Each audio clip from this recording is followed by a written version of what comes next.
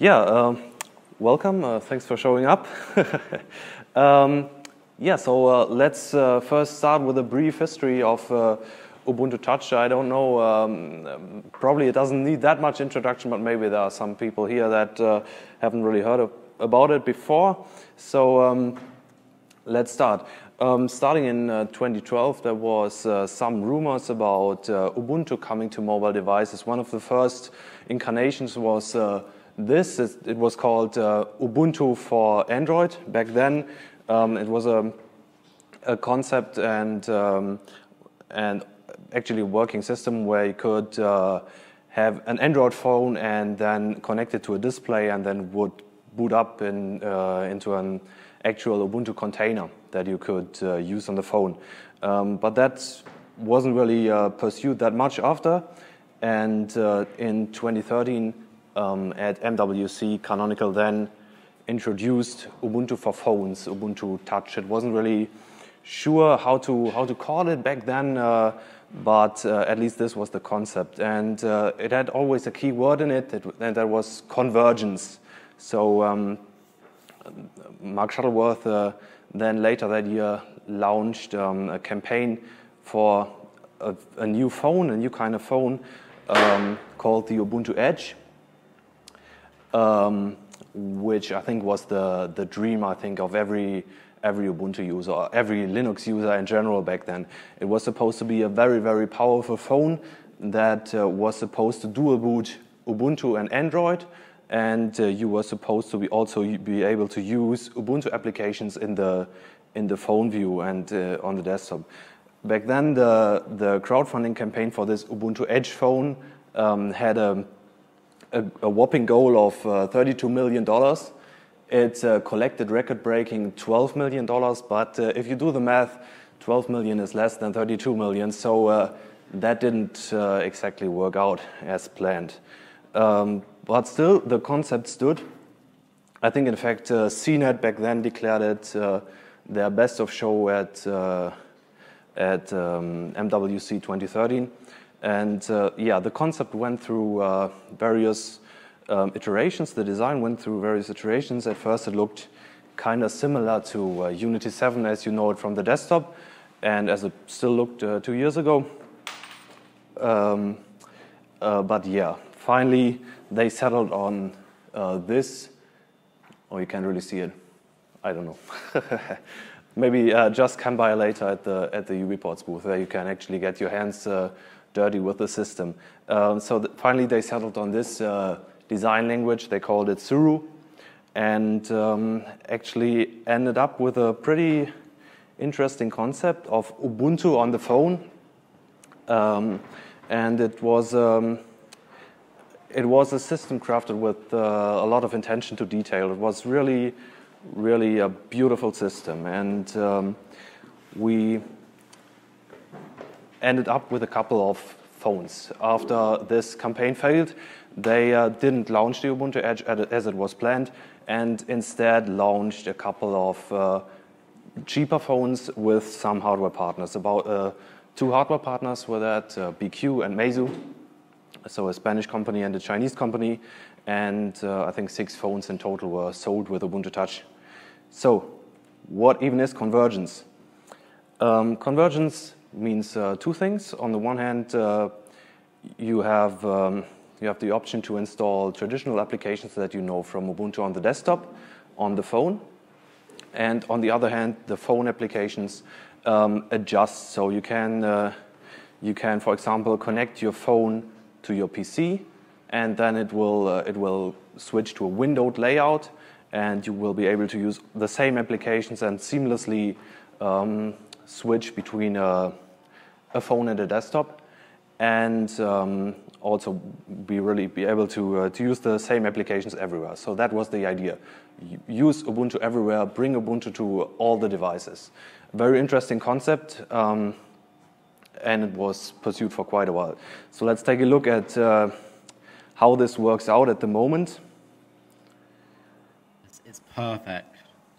It's it's the GIMP. We just get a new. Yeah. See, can you do that? And that's not that should be the pepper. That is the pepper. Let me just pull that size up. There we go. Can you do this on your iPhone? Yeah? The. Amazing.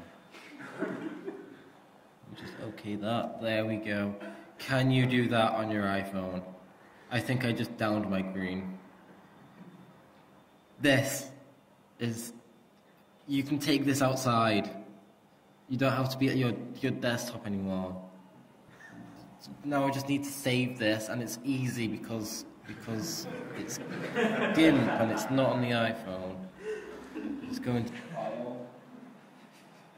go you just go into you just go into you going to, no file. it's going to, it's going to,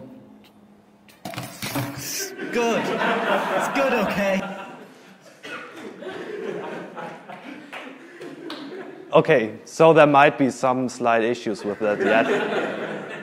um, but it, the idea is, is a pretty good one. Um, and if you look at this, um, Bryan Lunduke is probably a name that uh, you don't associate with a big lover of Ubuntu, but he called it um, like a magical uni unicorn that farts rainbows. The idea of having um, traditional Linux applications on your phone. Um, since uh, this video was taken that I showed before, um, some improvements have been made. It's not at a point where we would want it to be. Um, but at least you get the idea and you get that it's a concept that is worth pursuing.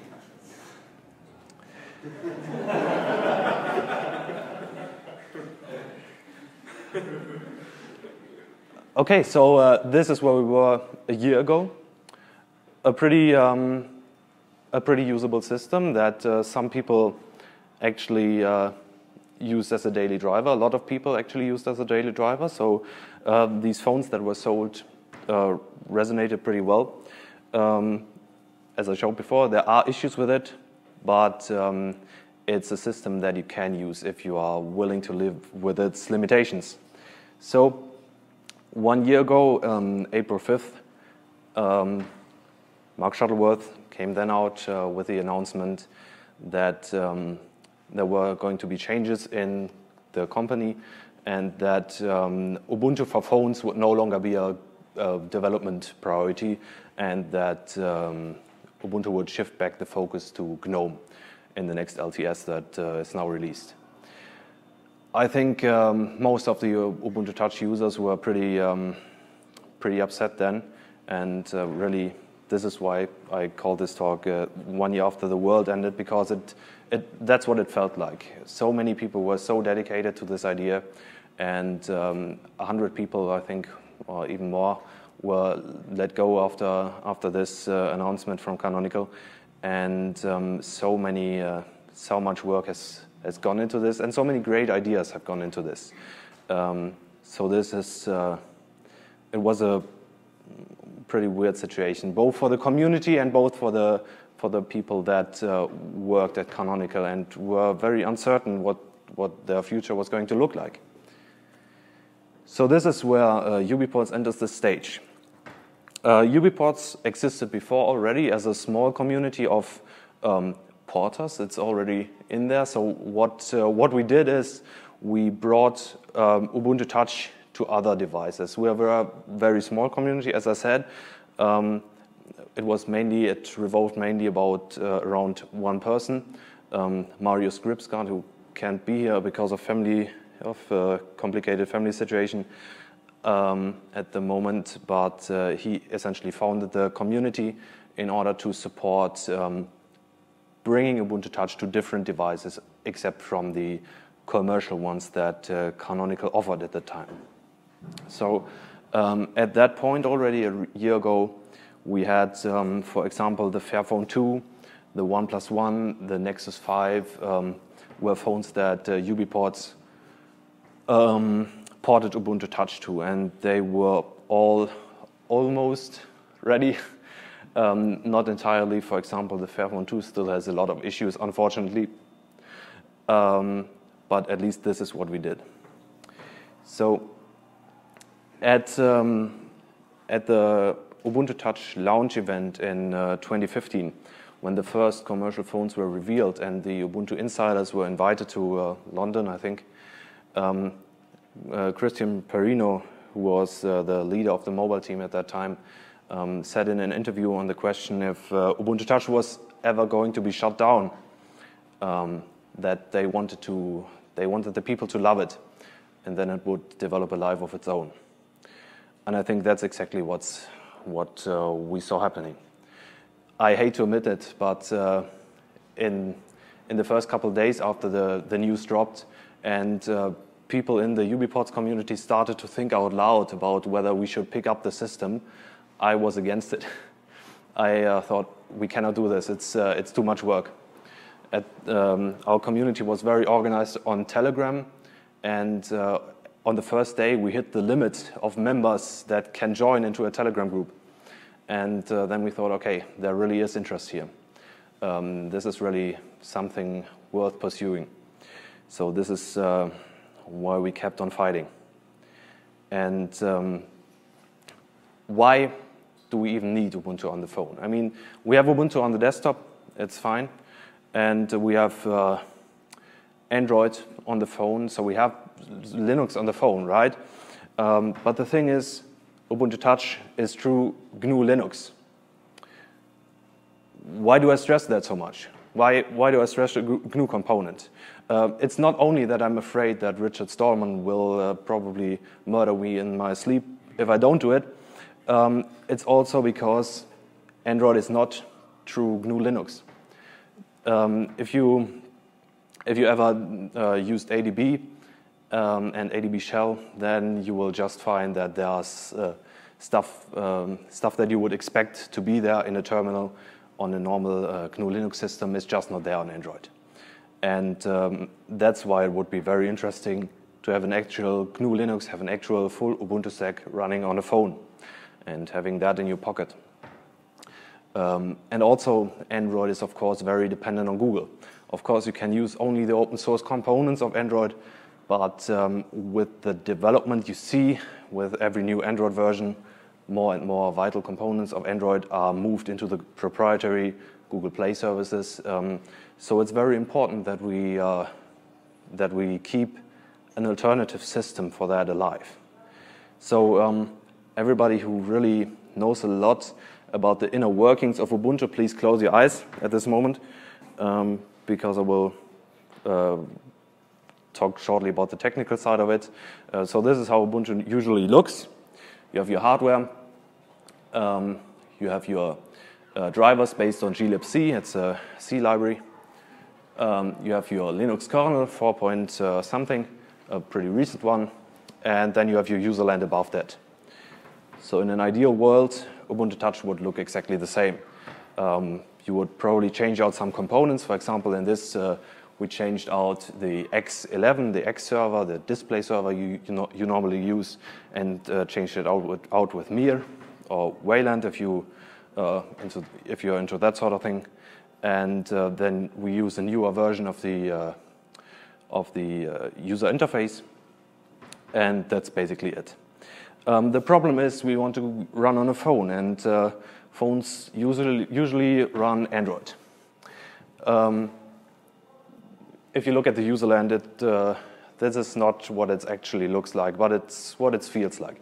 So there's a lot of Java in Android, um, and the drivers are not uh, compatible with the normal kernel. For, on the one hand, the kernel in Android is usually very old, so it's, uh, it's almost always um, uh, part of the 3 series, and uh, the drivers are not based on glibc. So it's uh, um, called Bionic, the library. Um, don't confuse it with, uh, with the name of the new Ubuntu release. It's completely unrelated. But uh, yeah, this is what it normally looks like. So this is what we do for um, Ubuntu Touch. We um, have a system called Halium, which is um, small container of Android that, um, that your Android is running in, only the very low-level components of, of Android. You have your kernel in there that also comes from the manufacturer. You have some uh, management scripts, and then you have a translation library called libhybris. And that translates all the API calls, um, the, all the all the driver calls uh, to these uh, Bionic drivers. So you can then just use your normal Ubuntu userland and uh, move on with your life. There are some uh, some extra problems on Android. Uh, if you look here, you have a recovery and a bootloader rather than a normal BIOS, like you would expect it on a desktop. Um, and there's very little standardization on Android. So uh, every device basically um, does it differently. Uh, but you then have to figure it out. You have to uh, work around a lot of issues, especially. Okay, so this is uh, what UBports used to do back then. Um, when we started to take over the whole operating system, of course, we said, okay, we need to make some, some changes to the organization. So what we're busy with at the moment is setting up the UBports Foundation. Um, it's going to be a registered nonprofit foundation under German law.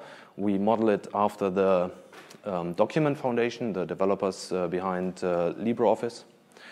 Um, if you talked to me before, I think uh, I might have already told you about this, and uh, then I might have said something like, okay, it's going to be live in three months or something.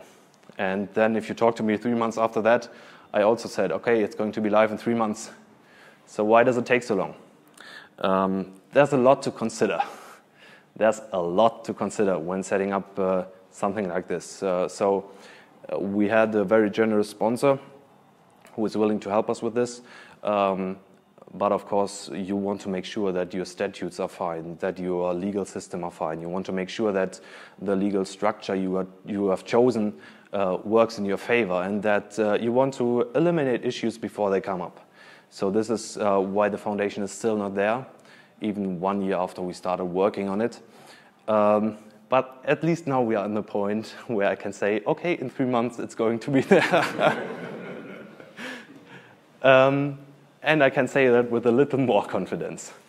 Um, so yeah, we are in, in uh, talks with the government because you have to approve your, um, your statutes have to be approved by the government so that you get, can get a tax exempt status, that you um, are legally on the, on the secure side. We have talked with our attorney, our lawyer, and the government to uh, pre approve it. And then in three months, uh, it looks pretty good. Okay, so um, we are a small community, right? So um, how can we do this? How can we um, how can we change the world if Canonical couldn't do it with 100 people or more, essentially? Um, we will make some changes in strategy, and we already did uh, start to make changes in strategy.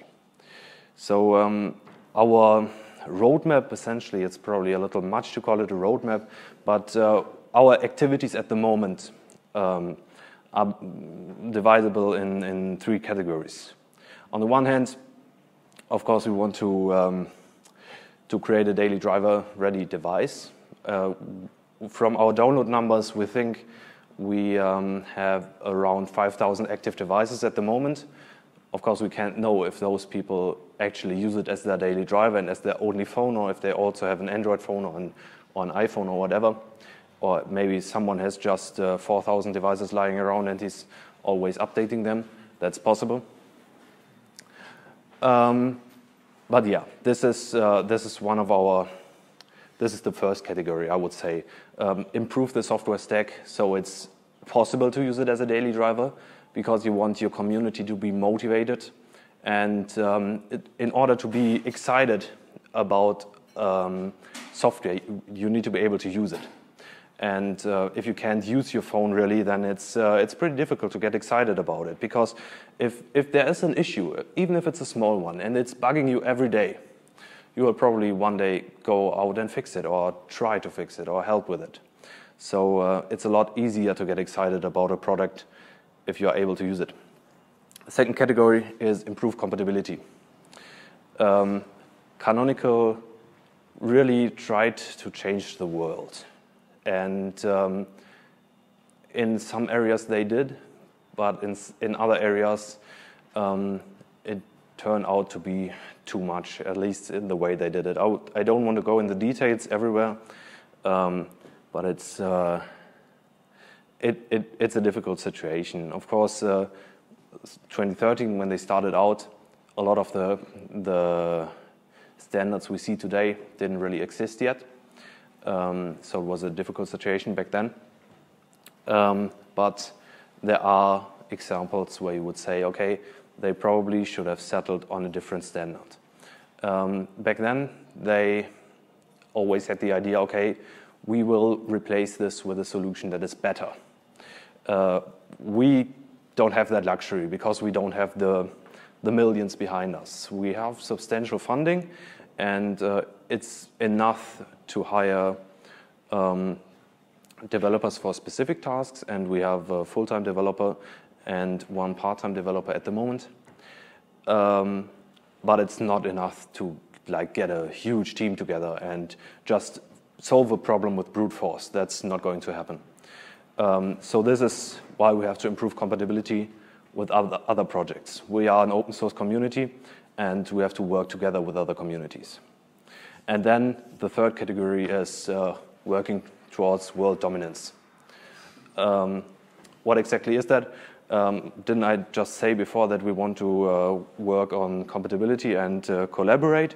Yes, um, but that doesn't really, um, that can work together. Okay, let's look at the first category in some more detail. let's look at some specific action items. So the, the most important one is definitely move to a supported Ubuntu base. Ubuntu Touch at the moment is still running on Ubuntu 15.04, and uh, that is end of life. And it's been end of life for a couple of years now. That's a very bad situation because um, it forced us to um, backport a lot of security issues. For example, if you, if you remember last year, KRACK and BlueBorne um, Wi-Fi and Bluetooth security vulnerabilities, those very much affect your phone, and uh, you really want to have those fixed. So uh, we had to backport those ourselves. Um, and of course, um, memory leaks in low levels of the of the uh, of the stack. Um, updates to all components of the stack, uh, we need to get them from upstream, and also it's, it helps us a lot if we, uh, it helps upstream a lot if we can uh, make our changes and our improvements available to them again. So that's why we really need to work on getting uh, to 1604. Why not 1804? On the one hand, it's because we really don't like the word bionic. Uh, and on the other hand, it's uh, because it doesn't really bring something new.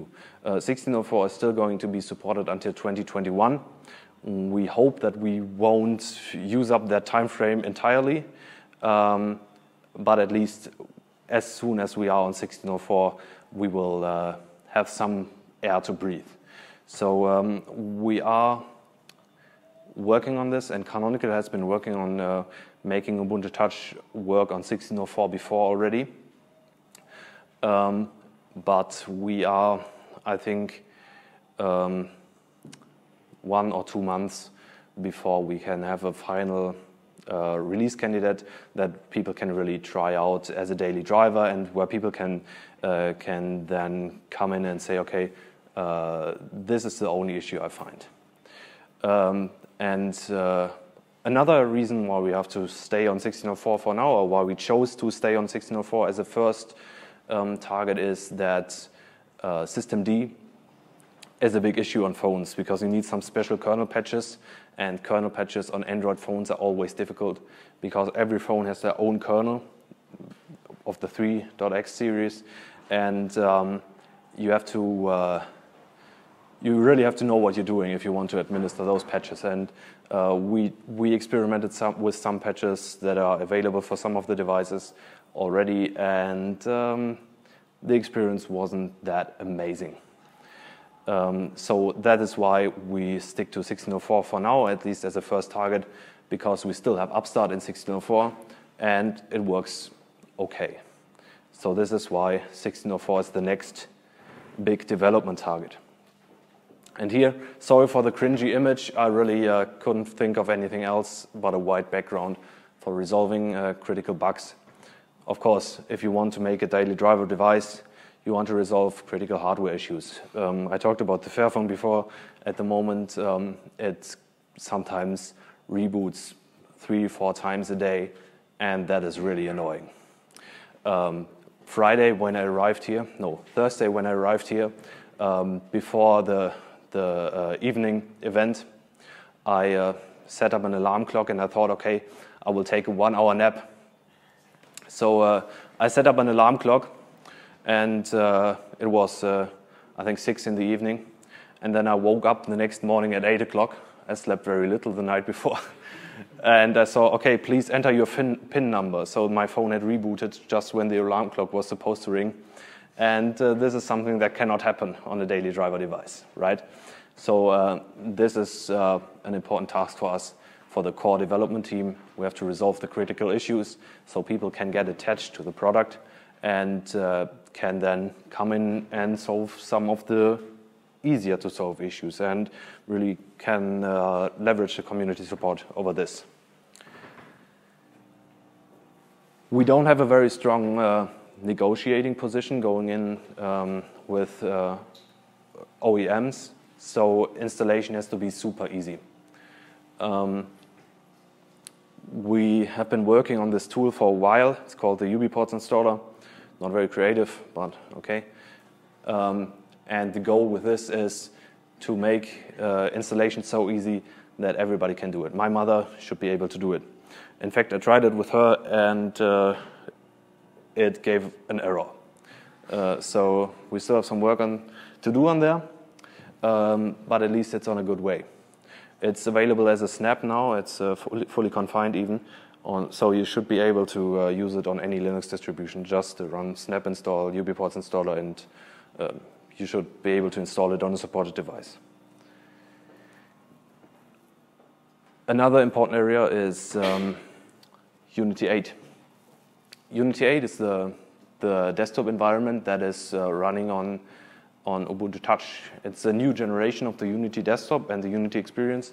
If you look around, it looks very familiar. It looks pretty much like uh, Unity 7, just a little more modern. At the moment, we are not using the latest development version on the phones of Unity 8. And there's a lot of improvements um, already there that haven't landed on the phones yet. For example, you have um, global menus, which is, in my opinion, was an amazing feature of Unity 7, and you have that in Unity 8 now. You have the, um, the head-up display, the HUD, so where you can search the global menus. And it's, um, if you think about it, it's, a, it's, really a very interesting feature for the phones because um, what we saw in the video earlier, you don't have that problem anymore because you don't have to be like, okay, I want to save, uh, I want to, uh, I want to save because a global menu is really much, uh, it's really only a, a, list of text. And you can arrange that on touchscreen and you can rearrange it and move items around. And um, you can really, it's, it's an option to really adjust the, the global menu to a touch interface. And they, they did an, an, amazing job in the, in the canonical Unity 8 development team there. And uh, I really love it. So we need to bring that to the phones and what we will also do, and what we also started already, is to bring Unity 8 to the desktop as well. Um, we have a PPA available and an installation script where you can um, basically just run a script and then you can uh, use Unity 8 and uh, try it out on normal Ubuntu. Of course, it's not for daily driving yet, and um, it's not something where you can say, okay, I don't need my Mate uh, my uh, GNOME or whatever anymore. So uh, it's still very much in development, but at least it uh, lowers the entry bar because the developer then doesn't need a full device and doesn't need to, to buy a device or, or anything, or doesn't need to use a crappy emulator, uh, but can just use it natively on his uh, on his um, desktop. And that's really what you want. I mean, after all, we are pushing for convergence. We say, okay, we use the same software stack across all devices. So it's a little ridiculous when you can only do the development work on, on the phone. You really have to push from both sides if you want convergence. You have to, uh, you really have to do that. So the second category is uh, compatibility and collaboration. We already talked about it a little. Um, like uh, moving to 1604 also plays in this category a little. Uh, having Unity 8 on the desktop plays in this category a little. But um, there are some that really specifically belong here. For example, Mir and Wayland. Um, we already talked about Mir.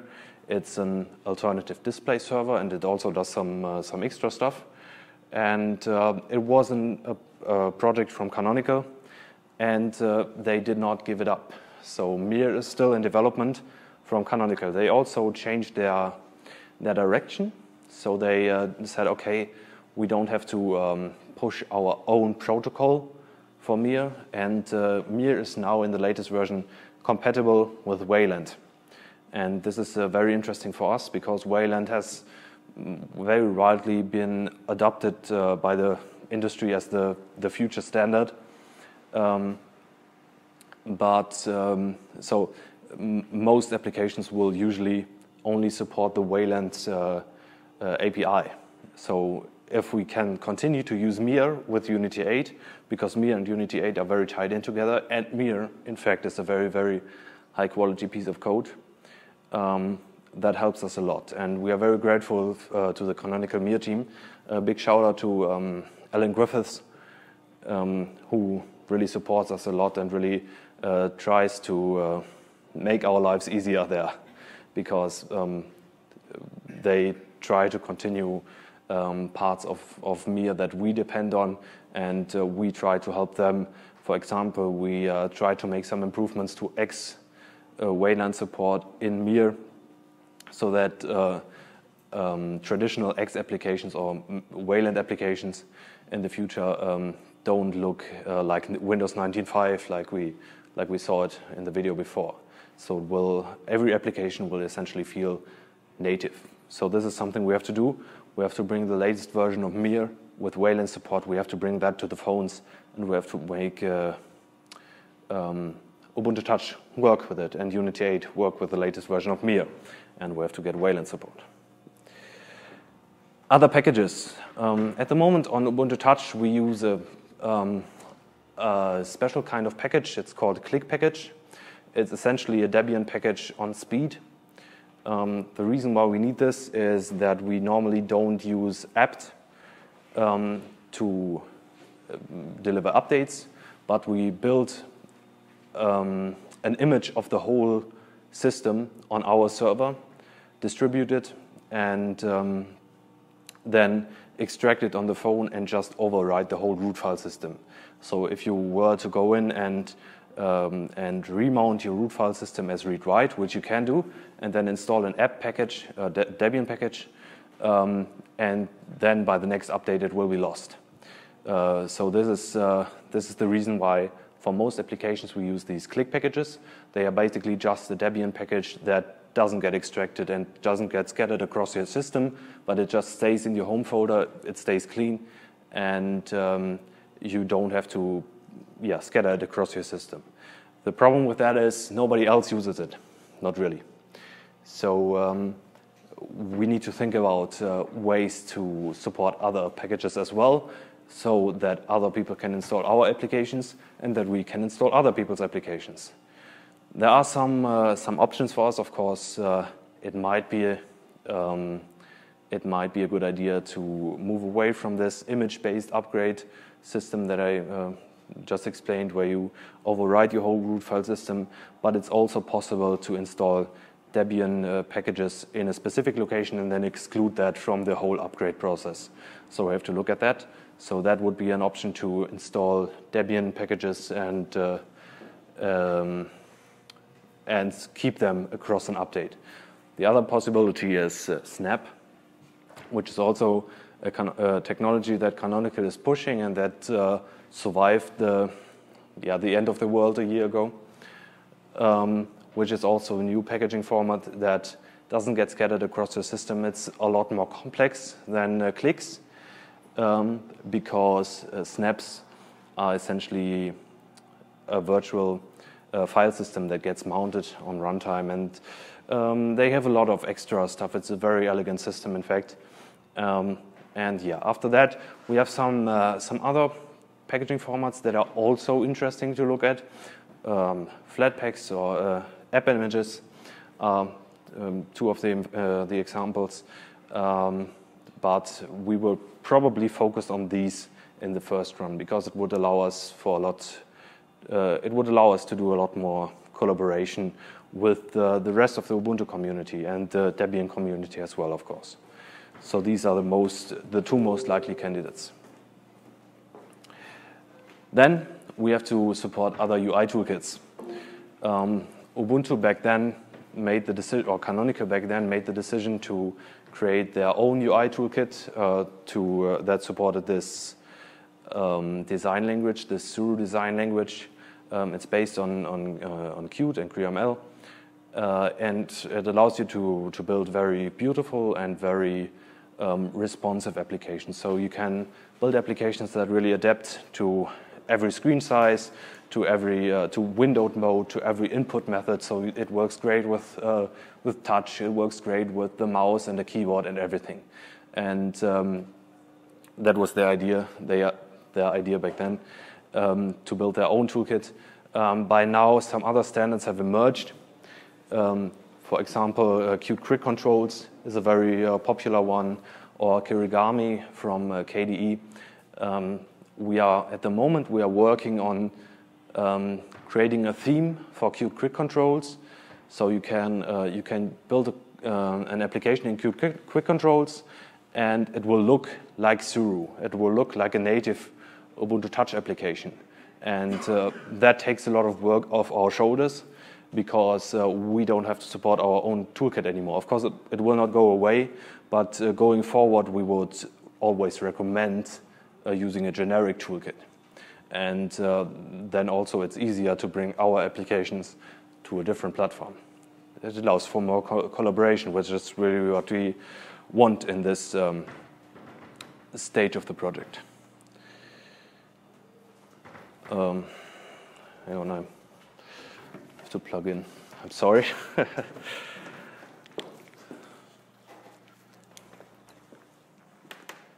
Which one can I plug out?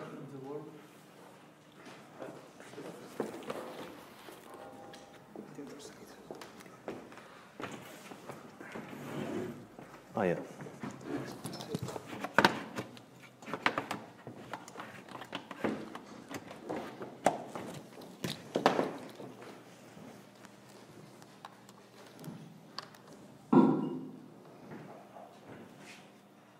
Okay. Um, another thing we are working on and that we have uh, working in a proof of concept stage at the moment is Anbox. Um, it's an Android container, again, that um, allows you to use APKs and classic uh, Android applications in a GNU Linux system. It's a little weird that you have an Android container on the bottom, then you have your full GNU Linux stack, and then you have your Android applications running again, but there's just some stuff that you need on a phone. For most people, if I tell them, hey, I'm working on this, uh, on this uh, awesome project, it's all freedom loving and, uh, and happy, fun time. Uh, but then they say, okay, it's the WhatsApp. And they say no, and they say, okay, goodbye. So this is a big problem for us. And uh, we had, for quite a while, we had um, an experimental WhatsApp client, an unofficial one, but it doesn't look like that's going to be continued to be supported. So um, it's, it's not a good idea for our developers to waste their time reverse engineering an API of a proprietary service and uh, then have all the work be diminished just by a decision of that company that just says, okay, we shut this down and uh, you are all banned. So uh, this is a waste of time and resources. So this is why we say, okay, also supporting Android applications is the right step. This is not supposed to replace our current ecosystem. It's, uh, it's supposed to complement it. So if you depend on an application like WhatsApp, um, if you depend on an application like, for example, car sharing or something, which often doesn't have um, a web app or something available, which doesn't have an open API, then you will be able to use the, the Android APK. Oftentimes there is an APK download available uh, from an independent site or from the, uh, the, um, the company itself. For example, this is the case for WhatsApp. So on, on WhatsApp.com, you can just download an APK and then run it in Anbox already. So this is already a thing that you can use on Ubuntu on the desktop, for example. Um, and uh, so this is how you, how you uh, would probably do it in most cases. And then there's alternative Android stores like F-Droid, which is a very popular one, or there's also a couple different ones, like, for example, there's the Amazon one, and in theory, you would also be able to install, uh, or no, in, in practice, also you're able to install Google Play services again, but then you're in a situation where you are like, uh, okay, I worked so hard to get rid of Android, and now I have Google Play services again. You might not want that. But if you do want that, it is possible. And of course, it's all containerized, so it, uh, it can't really spy on you that much because uh, if you close the container, it's gone. It's not running. So this is uh, something uh, we decided to do as well. As I said, it's in a proof of concept stage at the moment. It's only supported on two devices, the Pro 5 and the M10 tablet at the moment, and um, um, other devices will get it in the future, but it also requires some special kernel patches. And again, they are pretty difficult to administer on the on the uh, Android devices. Yeah. Um, again, we were very uh, we are criticized by some people that it would kill our own ecosystem, but I don't think that's going to be to happen because um, if we really manage to support all the packages, if we really manage to uh, support um, all the user interface toolkits, then it becomes a platform that's a lot more interesting as a development target. Um, because if you ever try to build an Android application, yes, there's a million systems available, but they all suck. And uh, working on Linux is a lot more fun, at least for us, I would assume. So um, this is why I think uh, this will not kill us. This is, will actually really help us a lot. So the third category in uh, tasks we are tackling at the moment is uh, world dominance. Um, you might have heard this uh, last week. It was announced that um, UBports will partner with Purism, um, an American Linux laptop manufacturer, to um, bring Ubuntu Touch to the Librem 5. The Librem 5 is a, a concept phone, and uh, it, it uh, also came from a Kickstarter campaign that uh, ran last August. Um, and the goal there is to build a phone with a classic GNU Linux uh, hardware abstraction. So you don't need all that uh, Android stuff anymore. And you would just uh, be able, in theory, to install any um, any Linux distribution and uh, just be done with it. But of course, you still need need something, or you want something that is that adapts to your uh, to your mobile user interface. And um, they partnered up with uh, KDE to bring KDE Plasma to this device pretty early. Um, and uh, they themselves will work on um, something based on GNOME, which is called PureOS, and um, we will try to make Ubuntu Touch work on this device. It's all in the future and it's all pretty vague still, but uh, we are very excited about it and we really hope that it will be a successful campaign.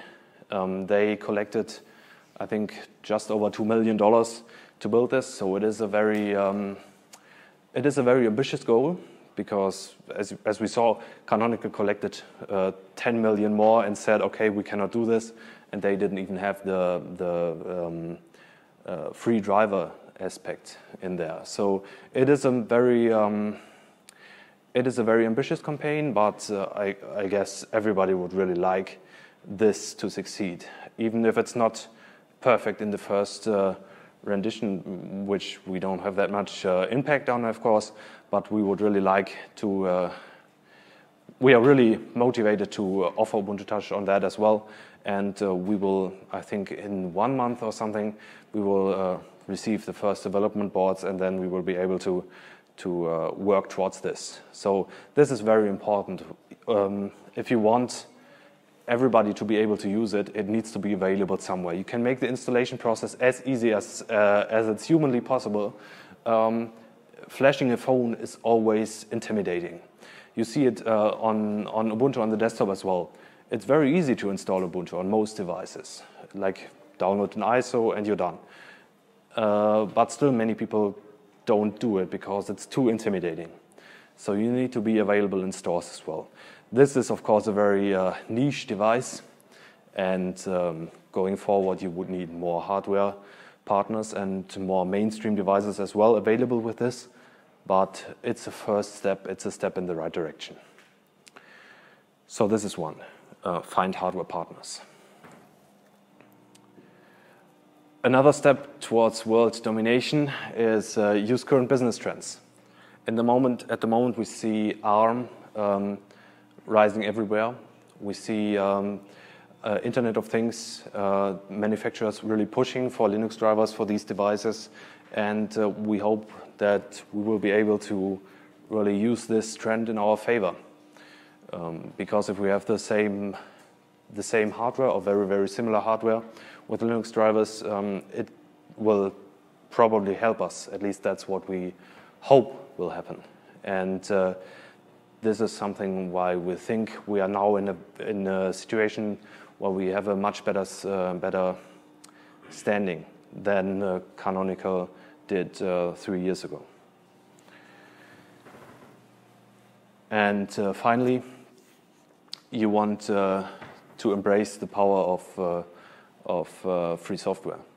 You know, you can, uh, you have so many options um, to collaborate.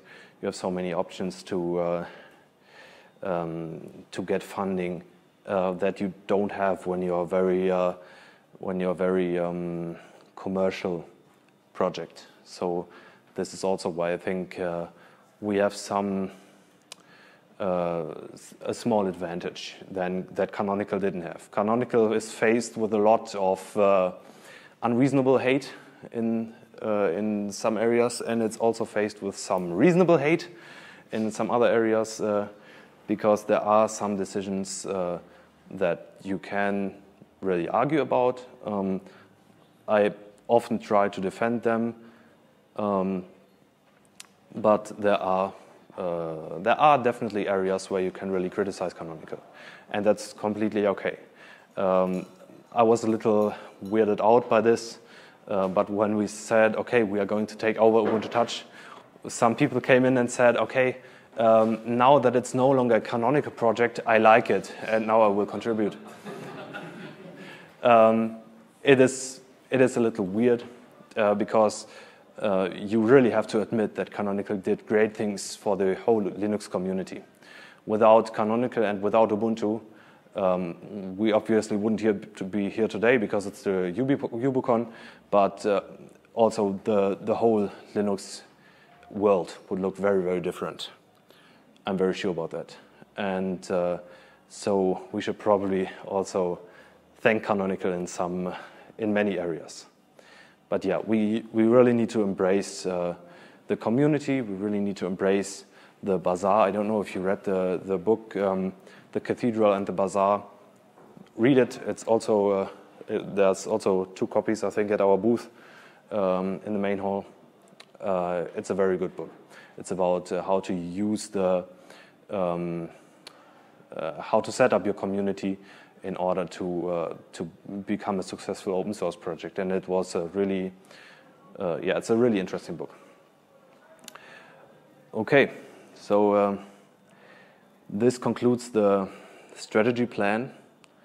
Um, create a daily driver ready device, improve compatibility, and work towards world dominance. Um, thanks a lot for your attention. And uh, we have uh, 10 more minutes, and maybe we can uh, discuss a little. I would really like to hear your thoughts about uh, the stuff I talked about, and maybe you have uh, questions about specifics.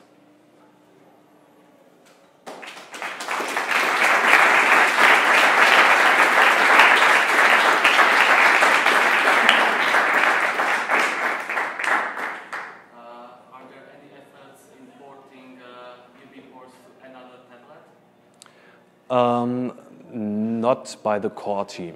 Um, as, as we saw, the, the Halium project, which aims to um, did I really talk about this? No, I didn't really talk about this.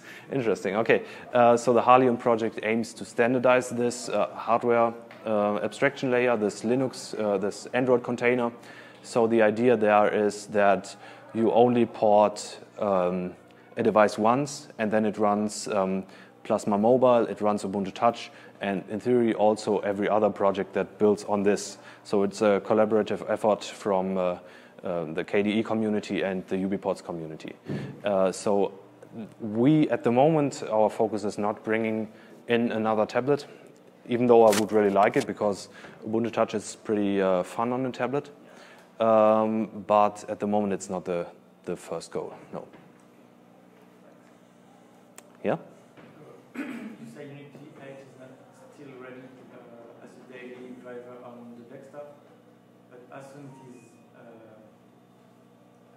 Daily driver already? um, do you oh, something. Are you looking uh, to be an official developer? That would be a very interesting thing. Yeah, um, we talked with some of the uh, members of the community council already, and um, and they seem to be very uh, happy or very uh, yeah uh, supportive of this idea to make uh, Ubuntu Touch an official flavor. Um, we'll have to wait with that. Uh, on the one hand, we, we really need more support from the community in order to bring Unity 8 to a state where it can replace another desktop environment. Or, uh, yeah, essentially, you you wouldn't want to um, to take away the, the the cake of someone else. That's not a saying. I don't know. Um, so we we would have to think about that. Um, if we made Ubuntu Touch in a flavor at the moment, it wouldn't really be possible because the the requirements for a flavor are very much set out around the the normal update workflow with deb packages and everything. So if you look at the at the list of requirements, um, it's um, yeah to to participate in the normal QA workflow of Ubuntu, and uh, that doesn't really fit the way we work on Ubuntu Touch at the moment with these image-based upgrades. Um, it would be an interesting idea to make Ubuntu Touch an official flavor. At the moment, it's not the first step, but uh, it might be something interesting going forward.